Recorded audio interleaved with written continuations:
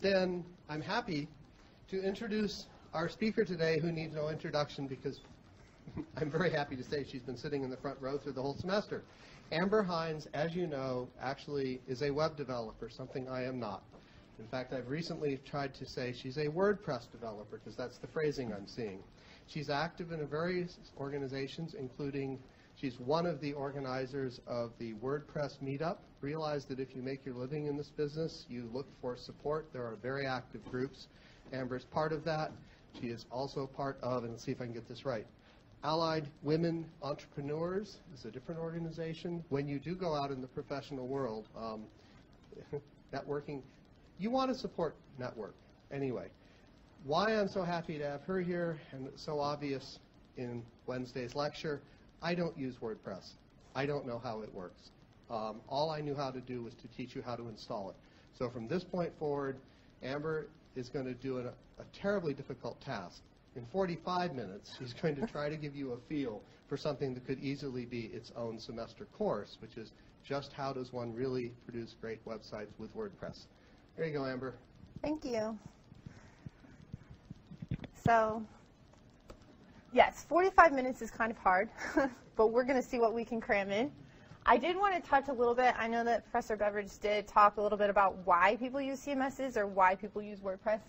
And I was, when I was talking to him about it, I told him a story about the first couple websites I built or worked on were just PHP sites without a content management system. And I happen to live on Nantucket, which is this beautiful island off the Cape of Massachusetts. And I realized I didn't really like it when people called me in the middle of the day and they were like, can you change this word or this picture? So I started looking for CMSs and I started to look into WordPress. And so the number one reason why I started looking into it is because copying and pasting is boring. So I like the coding stuff. I like the strategy and the how do you market and how do you do SEO and how do you build awesome things. I kind of really hate when someone emails me their crap and asks me to paste it into a website. So that's why, right? Um, lots of resources for learning. So when I was looking, there are tons of books and websites and blogs and people sharing code snippets and all kinds of things. So that's really useful since I didn't have the opportunity to. My undergrad degree is in philosophy, not in anything tech related at all. So it's very useful.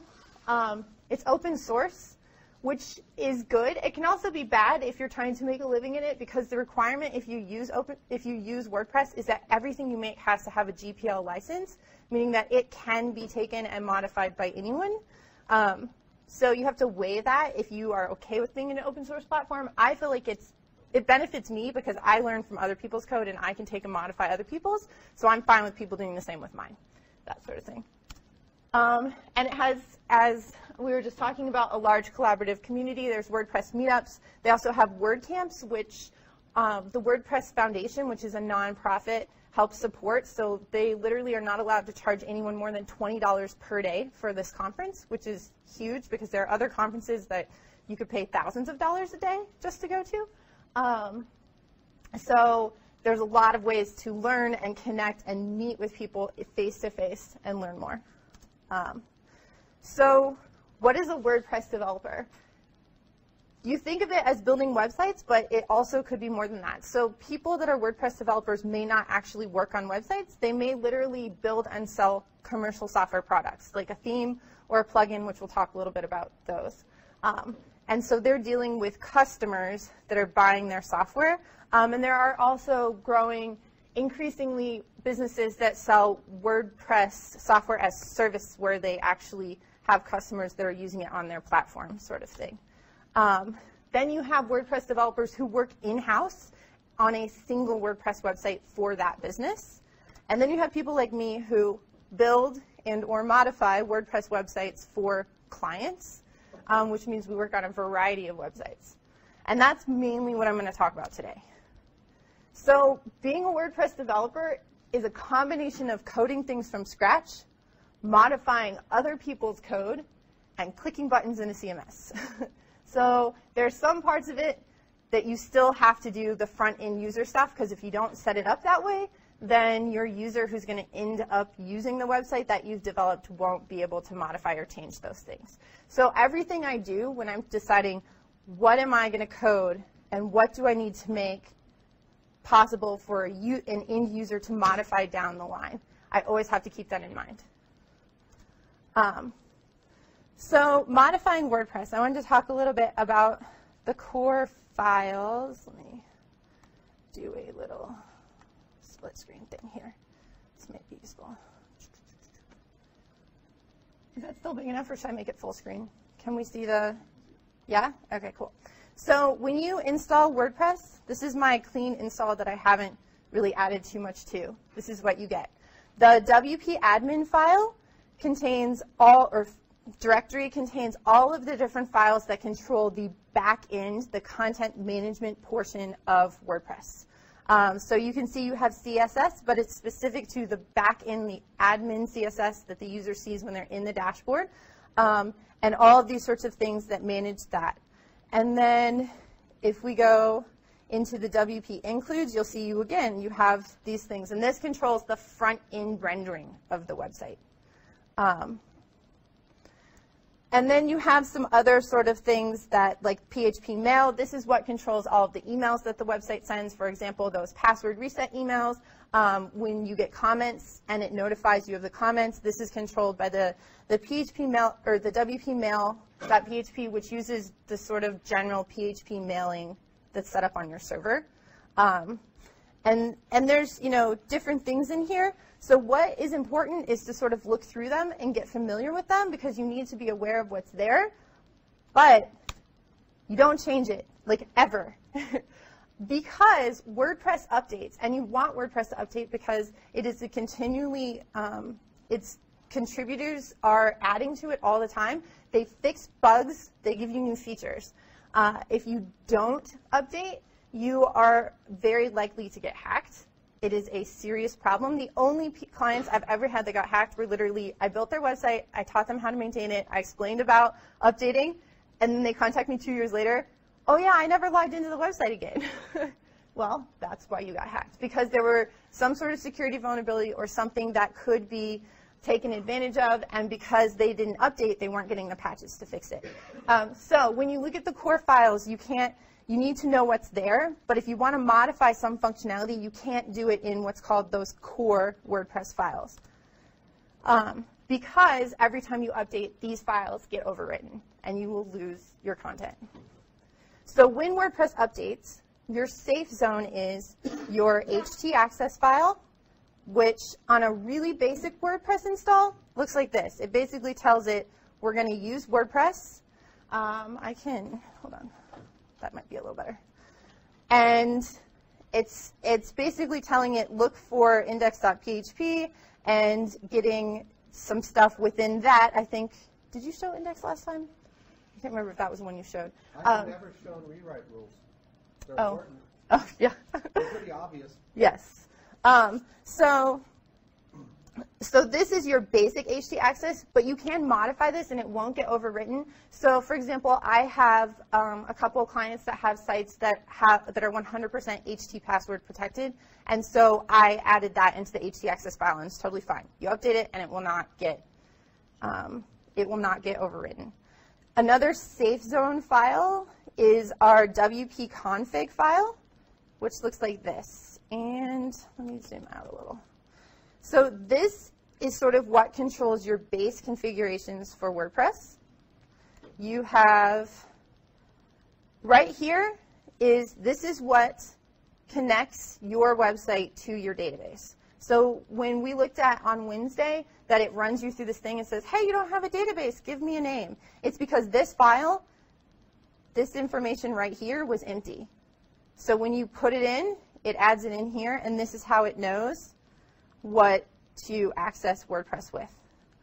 Um, it has all of the salts that it uses in this file as well.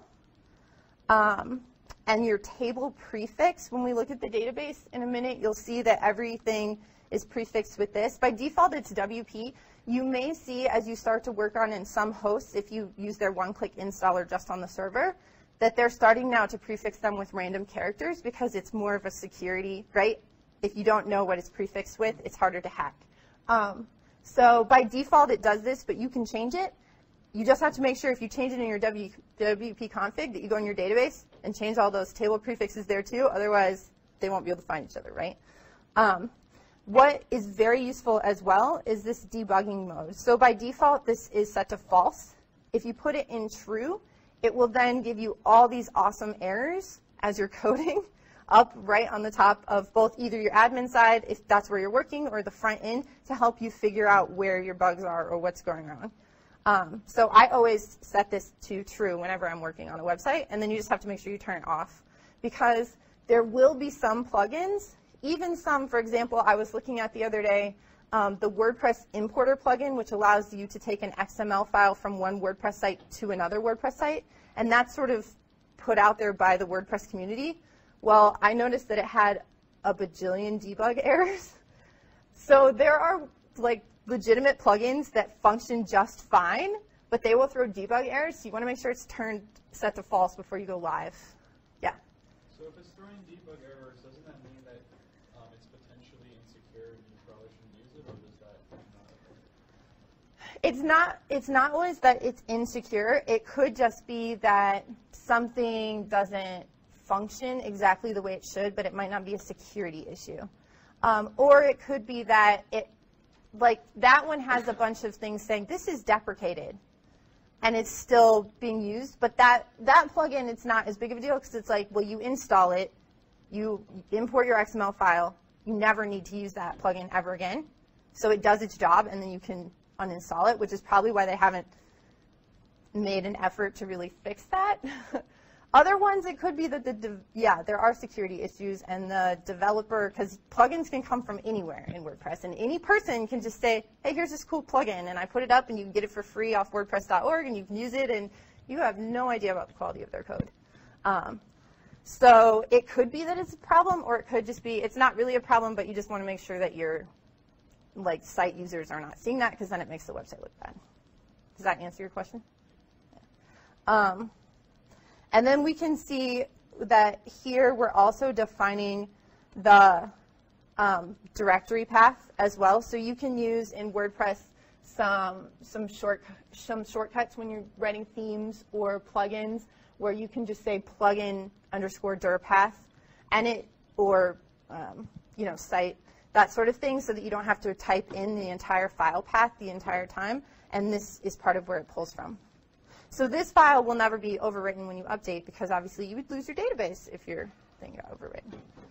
Um, so the other safe zone then is anything that is inside this WP content directory. So inside here is where our plugins live, our themes live, and our uploads, which is, it organizes it by year and month. And this is basically where all of your files, if you upload right, an MP3, or if you upload a PDF, or if you upload images. You'll notice this is the same image, and it is created in different sizes. So this is the full size, and then this is a 150 by 150, which is thumbnail size in WordPress. And this is a 300 by 225, which happens to be what this website's medium is set to. Um, so one of the nice things about WordPress when you upload files is that it automatically creates all these different sizes for you because a lot of users don't understand. I can't upload this picture I just took off my camera because it's 6,000 pixels, right? So WordPress will create smaller images automatically for them, and then they can choose one of those smaller images to use, or you can set a smaller image size when you're hard coding into your theme or your plugin that it will use that size. Um, and it helps with obviously load time and that sort of stuff. Um, and then this upgrade folder, we were talking about that yesterday. I'll be honest, I have no idea what this upgrade folder does. It's always there. There's nothing in it. My belief is that in the process of upgrading, it temporarily dumps things into this file, and then it deletes it when it's done. But I don't actually know. I suppose we could Google it. that's generally what I do, but I've never had to like find out. So that's what it does. And we'll come back to the themes and plugins here in just a minute. Let's see, so, so we can go back here. Um, also, any files, if you stick them in your root, if you just add something else, it won't overwrite that. Um, it will overwrite stuff though if you if you're like I'm just going to put this in WP includes or WP admin. It will overwrite that and delete it when you update because it's like oh this isn't supposed to be here. I don't know what this is, and it'll delete it. But if it's in your root, it's safe. Um, so largely then what we were talking about then, if you are a WordPress developer, what you do is you build themes or you build plugins or you build both. Um, in what I do, I build both. And that is because themes are supposed to control style and plugins control functionality of the website. Um, so you notice I have a little parentheses there. Best practice, not always reality. If you were to go to ThemeForest and look at the themes there, and a WordPress developer who builds sites, like custom sites for clients, there's a whole rant that we could do about that. But a lot of them are like, hey, my theme has a slider built into it. My theme has, oh, oh, this theme is specifically for bloggers who write about foods. It has a special section for you to add recipes, and it's built into the theme, which is cool if you are only going to use that theme. And then, let's say one day you're like, oh, this theme sucks. I want something that looks better. And you uninstall it, you activate a new theme, and you realize, oh my gosh, all the images I had in my slider are gone. I can't find them. My recipes that I, you know, have been writing for the past two years, I have no way of accessing them. They're not gone. They're still in the database. But the functionality that was getting them out of the database was in the theme. And therefore, when you uninstall that theme, you lose the ability to access that content as a user. So, those, that's so bad. but people do it because there are, one, there are users who don't know and don't understand, and then it sort of forces them to be stuck in a product. And two, building themes and trying to sell them commercially is sort of a competitive market, and it's hard not to you want to be like, I'm an all-in-one package, and you pay me this money, and look, you don't have to install all these extra things. And so for a user who doesn't understand the long-term implications of that, it looks better. And so some theme developers do it because they think they'll get more sales. But it's not, it is not good practice. And so really everything you do that adds any sort of functionality to your site should be built into a plugin or added in a plugin if you're not building that specific plugin yourself. And that way, when you decide you want to change the design of the site, you won't lose access or lose functionality. So this is just some other things to know before we get into like themes and plugins. So we kind of talked a little bit about looking at it. So posts and pages, we saw that on the back end. Um, posts are basically blog posts, which is content that can be related to one another by the default in WordPress is categories or tags, um, but that's what we call taxonomies. And you can create your own taxonomies as well for organizing things. But the other big way that they're organized is that they have a relationship to one another by date. So you notice by default in WordPress, it shows the most recent post, and then you can view what's called a loop of them, so all of them on one page or a certain number of them on one page before they paginate and you have to go to another page. And they're related to each other or organized by date in default. Um, pages, on the other hand, are what would be considered standalone content that may have a hierarchical relationship to one another. So one page could be a parent of another, um, or they might not be related to each other at all. And typically these are more static. It's something you're not changing too often, like your about page. Um, and if you do change it, you're kind of like, ah, I don't really care what it used to say, so I don't, I'm not worried about preserving a record of it on the web, and therefore I'm just going to delete it and rewrite that content, and I'm good. Um, but, so we're going to look in a database right now they're actually kind of all the same thing.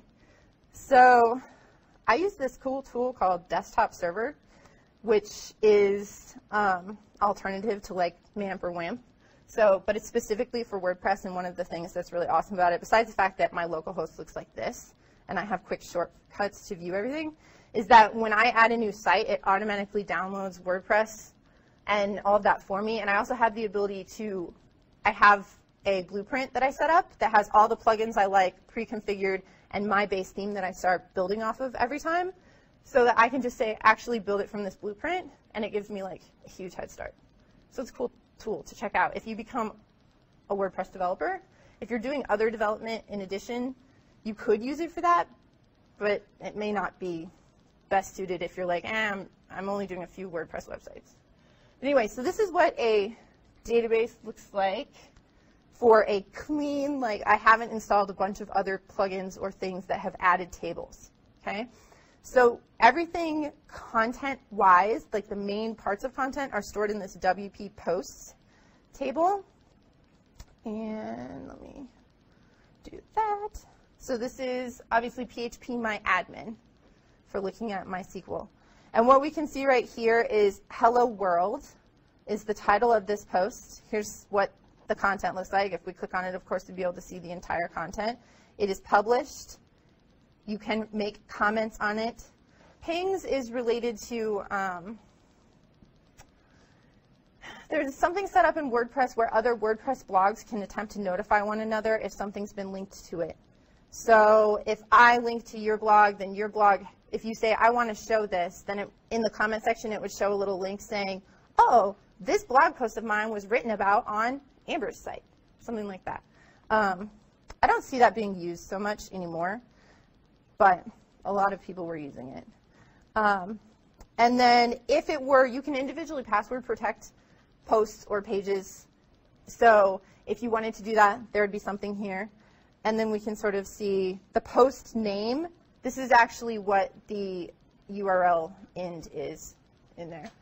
Um, when it was modified, when it was published, and then once we get over here, we see this post type. So this is a post, meaning it's a blog post. And we can see right below it, there's another one that is a page. Also stored in here, oh, I don't have very many, that's right, uh, is would be if you had media, your images are kept in that directory, but it creates a row in this table, and that's how it knows that in this file, this is the media and this is the file it relates to, and it would say attachment under that. Um, and then we have one other table that stores information, which is, oh wait, let's just go back this way. Uh, WP Post Meta. And this stores, there's not a lot here because obviously this is my clean one that I use that's not super modified. Um, but this would store information like if you wanted to add to the bottom of every post, like uh, the weather today, and you just have this little area where it just says the weather today, and, every time you write a blog post, you could say sunny, rainy, or whatever you want. That's sort of like an extra detail that repeats as a field that you can enter on your blog posts. Um, so it would store it here, and it would relate to it with this post ID. So Number two, obviously, was that page we were looking at. So you can see here, there's a meta key, which is what page template are you using? And the meta value is I'm using the default page template. Um, and this other one relates to the blog post. And at this moment, I'm not entirely sure what the edit lock is. Um, but you can add that. So, so extra details about content is stored in WP Post Meta, and it's linked by the post ID. So one of the really cool things and something that I do a lot, and I would say is probably one of the most common modifications that you see, is that you can create custom post types, which is a separate way or better way of organizing content, um, which we sort of talked about a little bit, like the recipe website that wants recipes in its own special section. Um, so those are some other examples. And we're going to have links to this, but all of these things are links to, I have tons of links in here. Uh, WordPress has a codex, which is super useful if you want to learn different things. Um, this page also tells you if you want to add a um, custom post type in a plugin, please do it in a plugin, not a theme. this is the code that you would need in order to create one. So this is an example for products. So we are registering the post type, and we have to give it sort of a name that a server can use, right? and then it takes labels. So what is the plural name and what is the singular name? And in this case, they said products or product. Um, public means can it be visible on the front end of the website? Because there are sometimes when you set up post types that you want to use for an internal purpose, but they're not going to be visible as an actual page on the website. Um, and has archive relates to whether or not they have a default page like that blog post page where you can see all the blog posts and before you click and go into one. So that's the archive. And then when you click and go into one, it's a single page or a single post. So that's what that relates to. And there's a ton more attributes and those sorts of things. Uh, if we go way down here, maybe. Uh, there's a link further on. And we won't spend time looking at that specifically because we don't have time for it. But so throughout my talk, and I'm not going to go into all of them, there are all these links that you'll be able to go out and find that information on how do I make this or what is this thing. Um, so other things that are useful to know, widgets are basically mini programs or tools that can be added to different areas on your website. So if we go visit this website, sorry, I should have opened this ahead of time. Um, maybe. The internet does not decide. There we go.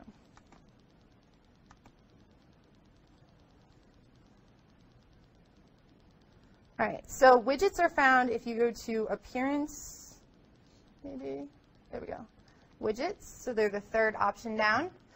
And all of my available widgets are located here, and then I have a widget area. Widget areas are created by your theme. So a theme says, I'm adding areas that people can add content to. So this allows users to, to easily display things without having to know how to code. So this is a recent post widget if we were to look at this site on the front end, then we could see something like, hey, here's my recent post, and it displays hello world, because this is where that widget area is showing up. Um, so these are sort of a nice interface for users in that they're drag and drop. Um, so the widget area is created by your theme because it's the look, right, where you can put things. The actual widgets themselves, some of them are core. So for example, the recent posts, all the, actually most of these things that you're seeing, because I don't think this has any plugins in it.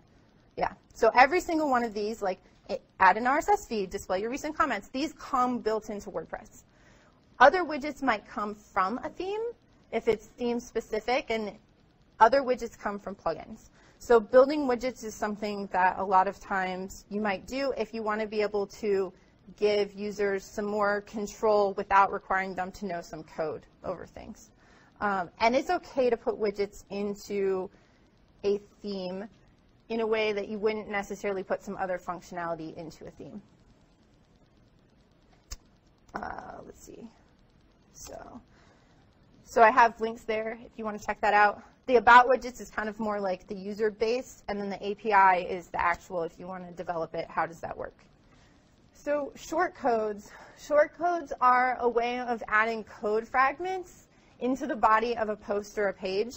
So what that looks like on the back end of a website, I guess you can't super see that, which is sort of a bummer, um, is it's in a square bracket.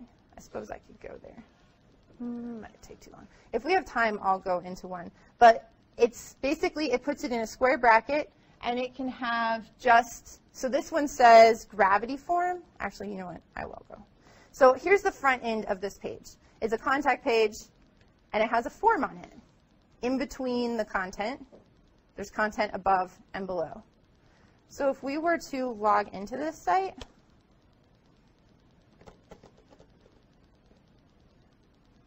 so you can do cool stuff like I brand the dashboards for my clients. So when they go there, they don't see a WordPress logo, they see their logo sort of cool, fun thing to do. So here's another quick example. Events. On a normal WordPress website, you wouldn't see that. So this is a custom post type that is set up for this person to display their events. And it came from a plugin that I did not build. So there's something that you always you know, want to think about is that you can use other people's plugins, and it saves you a lot of time and also makes it easier for you to make functionality available to your clients so you maybe don't know how to build all of it or that you don't, it would be too cost prohibitive for them to pay you to build that. Um, so what we're looking at as well, and you can see this forms, is the same sort of thing. That is a plugin that I use all the time because if I were to build a custom form, it would not really be worth it. So what we're looking at on the back end here is this. And Nice fit. So it is in square brackets. This part right here is the actual short code. It's just gravity form, which is saying display a gravity form, and the short code is coded into that plugin so that it knows what to do. And then short, um, short codes can also take attributes. So this is the ID of the specific form I want to show, and then you can obviously see the different things written out here as well. Um, so that's what it looks like on the back end. These are hit or miss because sometimes if you're actually building for a user, they understand that. Other times it's confusing. What's nice is that you can build in ways, so for example, this has an add form button, and it gives them a way of, this is a live website, but if you edit things on a page, you don't hit update, it won't show up. But it gives you a way of, as a user, adding in a short code. Where did it put it? So do you see it just added another one for me without me having to know and type it? So that's sort of a nice thing for a user. But you have to build that interface. If you don't build that interface, you just tell them, the short code for this is gravity form, and these are all the attributes you can use, and they have to know, they have to either look at your documentation or know that and then type it in themselves. So, uh, let's see. So, theme development, as I fly through this. So, themes live in, let's see, we're going to go back to this. They live in WP content slash themes, which is right here. And this one happens to have two themes installed. So a theme, what's important to know is it's more than just a skin. Like you might think of, you know, oh, you can just skin things and adjust the style. So I know I kept saying, it doesn't do functionality. But it does because it controls what comes out of the database and what displays. So if you don't have a theme, like if you were to say, I'm just going to delete all these themes, like your website literally, the front end of your website would not function. You'd have a white screen. There would be nothing there if you were to try and go. Um, so themes control the look of the website, but they also pull content out of the database.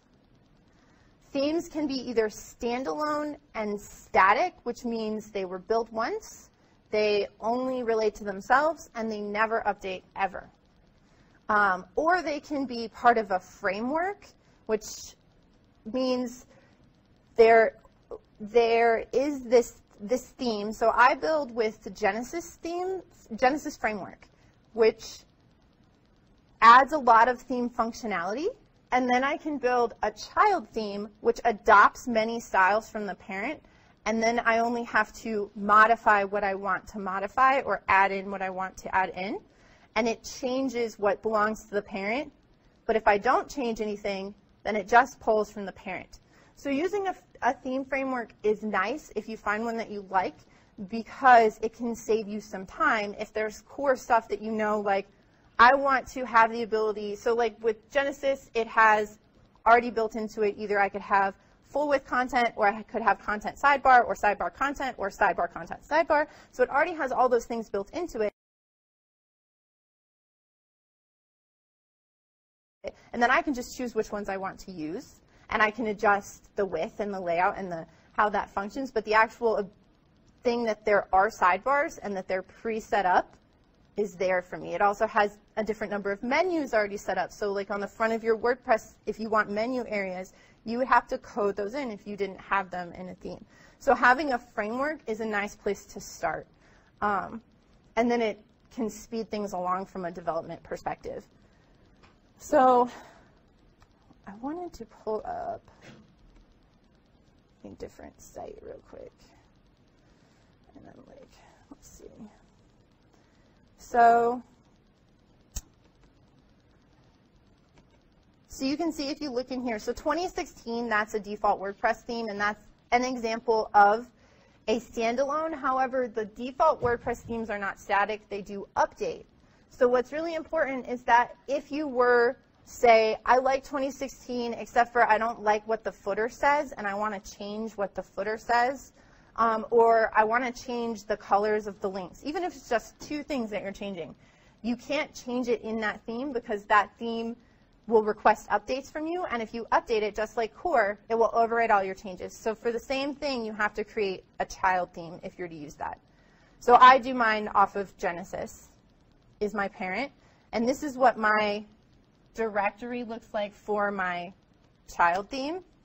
So themes contain, at an absolute minimum, a style sheet, which, oh, I hate it, does this in Notepad and not Slobo, I'm sorry.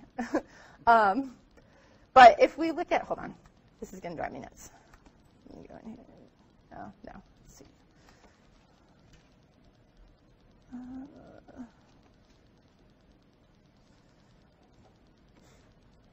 all right. So if we look at this, this sort of tells it at the top. WordPress needs some of these things in order to understand. This is a theme, so it has to have a theme name, um, and it needs to have a version number at a minimum. As long as it says a theme name with a name and a version number, then it will know that it's a theme file that you're working on.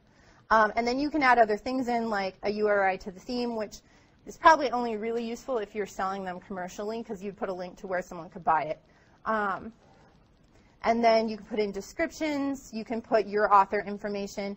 So this part right here, template Genesis, this is what tells it this is a child theme of another theme.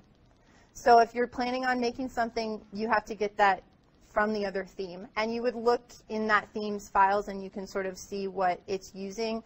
Typically it matches the directory. Yes? When the parent theme gets updated by whoever's updating it, does Mhm. the child theme inherit those updates as well, but your changes just don't get overwritten? Is that how that works? Yes, so it will inherit the update. So if they add functionality, then it will inherit what they add.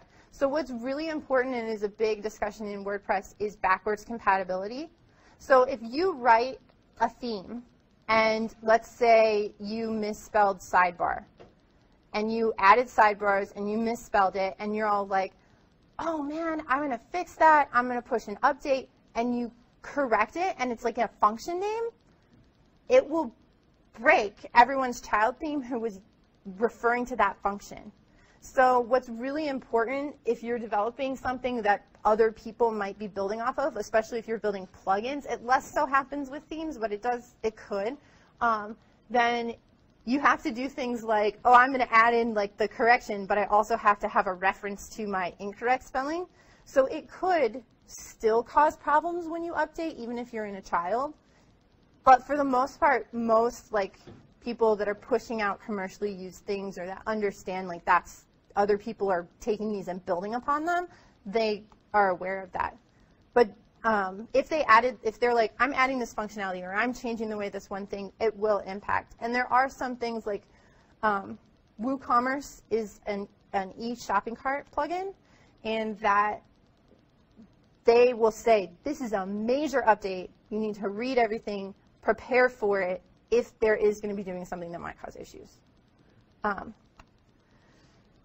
so they have the style sheet, and then they have to have a index.php, which I don't have one in my child theme because I'm using one off the parent theme. But basically, that's a template page.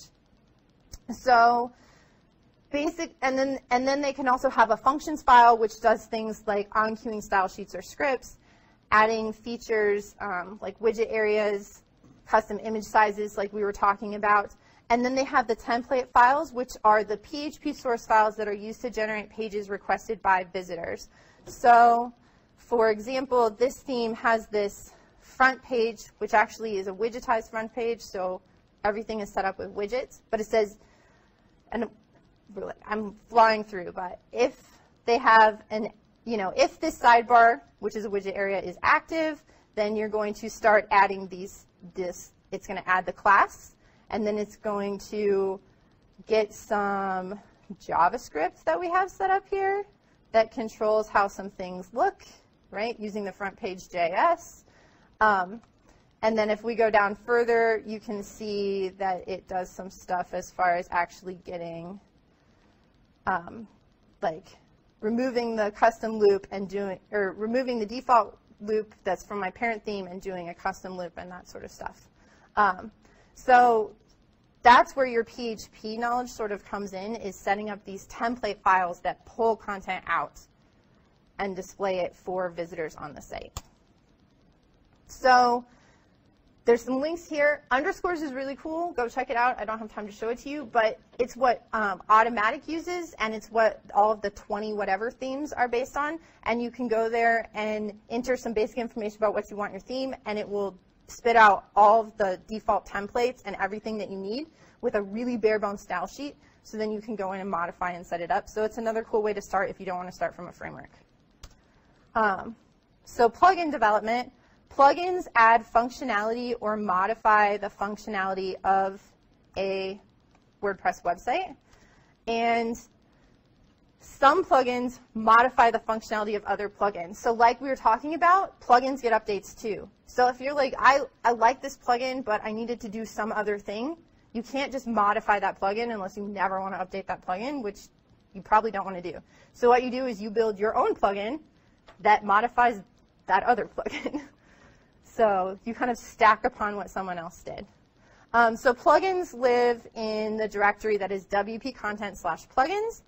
They don't have to be, like you'll notice, they don't have to be in their own little directory house, um, which by default when you get, so this one has a bajillion plugins on it, and it doesn't, oh, I deleted it. By default, you'll notice if you look in there, when you first download, you have one that's like Hello Dolly, which is this weird thing where it displays Hello Dolly music lyrics on the back end of your website. I don't know, it came from Matt Mullenweg, one of the core contributors. And it's not in a file. It doesn't have to be, but typically you're going to have more than one file for your, or it's not in a directory. You're going to have more than one file for your plugin, so you put it in a directory.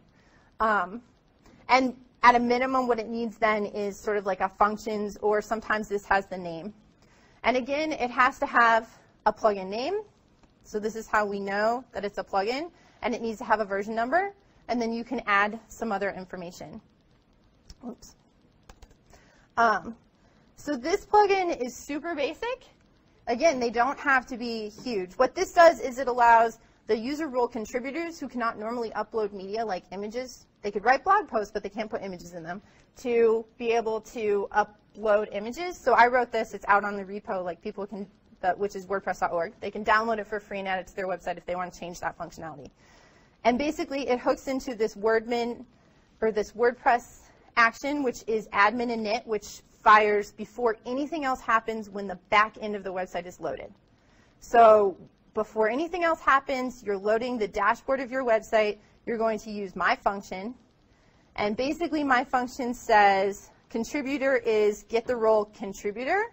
So you'd have to look at the WordPress um, users stuff pay, uh, file to figure out what is this that I'm modifying. And then we are basically adding a capability, which is, again, this is a capability that's defined in core WordPress, upload files. So now if this plugin is turned on, without the user even having to do anything, it automatically says anyone you have set to contributor can upload files. Um, so that's like a really basic plugin. Some plugins you'll see have tons of things inside them. Um, and mine just for reference, oh, I went away from it. Um, so the only reason why this has all this other stuff in it is because I put it on WordPress.org, and when you put it on WordPress.org, they have rules about, you know, what else you have to have in it. But it literally could have just been that functions file, and that would be it. Um, so tons of resources on plugin development. And tools I like to use, I use Sublime, Desktop Server, Photoshop at sort of the minimum. And then I have a ton of resources. I'm not going to go through them all, but there's stuff from WordPress if you want to learn more about it. There are books that I have found useful, podcasts and stuff I like to listen to, and then some other resources that are, I haven't ever used Lynda or Treehouse, but a lot of people I know that develop and have taught themselves to develop have used those because they have WordPress specific development stuff. Um, and seriously, as we've talked about before, you can just Google stuff. Fort Collins WordPress Meetup. Next time is Tuesday, May 17th at 6 p.m. and we're talking about building extensible plugins. So we do two a month. One is developer focused, one is user focused. This one is developer focused, so we'll be looking at code. Um, that's it. I was like the fastest. Sorry. Does anybody have anything in the two minutes that are left? Yeah. I actually just got hired as a WordPress developer, and I was actually curious what SEO, what the SEO plugin was. Oh yeah, I typically use Yoast, um, WordPress SEO, which if you search in the repo, um, it's a free one. They have add-ons if you want like WooCommerce extra special things for your e-commerce store, but that's a really great free one. It's also good because it gives you a, a red, yellow, green to tell you how good you're doing, which is useful for users who don't know SEO because it grades their pages. So I think someone else had a question. Yeah. How do you go about getting your clients? Um, I am largely word of mouth. So I have s- quite a few clients that are repeat. I have a lot that refer because I do good work for them, I guess. I'm also a member of the Chamber of Commerce, so I've gotten clients from the Chamber of Commerce. Um, I've gotten a few from the WordPress meetup just because I go and I help people for free, and then they're like, "Oh, I want more help than that," and I'm like, "Well, you can come back to WordPress meetup, or